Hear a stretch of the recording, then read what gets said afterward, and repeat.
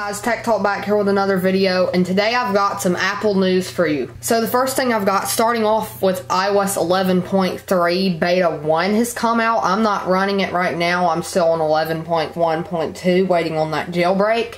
But um, iOS 11.3 is rumored to be what releases the toggle switch for the iPhone CPU throttling. And Apple was throttling your CPU if you don't already know. They were slowing down your phone as your battery basically wore out or degraded, didn't hold as much of a capacity, so your phone would last just as long, but your performance wouldn't be as well. So a lot of people complained about that when they found out. So iOS 11.3, the final version is supposed to have a toggle or switch in the settings that you can turn off the throttling. It'll make your iPhone or iPad faster, but it will drain the battery faster or you can leave it off and it will have a worse performance, but it will last longer. So that is the big news on iOS 11.3. But the first beta, it is by default on the make phone faster.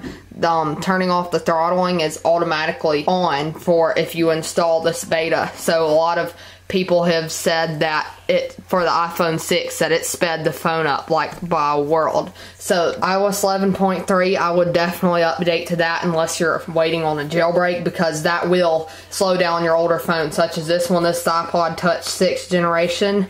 It um it has an older um processor and battery so it would be throttled and it probably is right now. So I would definitely recommend updating to this firmware for older phones especially so the next thing I'm going to talk about is the iPhone X. Unfortunately I do not have one right now. I would like to get one soon but I do not have one right now. So this iPhone, there's a possibility of it being canceled sometime this summer because of the lack of demand for the iPhone X because not as many people have bought it as they expected.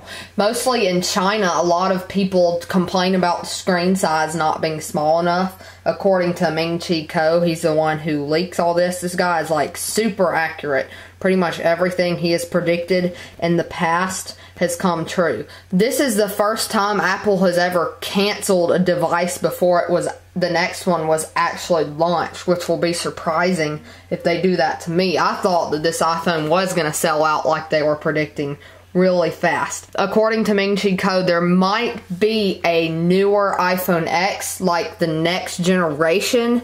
It will be like a modified version, like there'll be an iPhone SE version of it there'll be like the iPhone 8 size and the 8 Plus size of this phone with a six and a half inch screen. I will leave the article of why he thinks this is going to be canceled in the description. And as far as jailbreak news goes, I don't know if you saw my last video about all these jailbreaks that came out, but jailbreaking is not dead, so I would stay where you are at the lowest firmware you can get to to jailbreak. I'm on iOS 11.1.2. Um, but iOS 11.2, there is a jailbreak coming out for it, so you should be safe there. But Houdini supports iOS 11.1.2. Topanga supports iOS 11.2.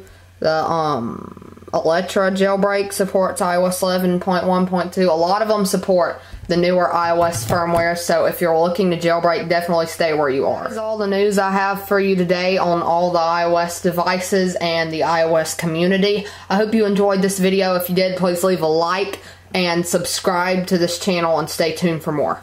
Peace.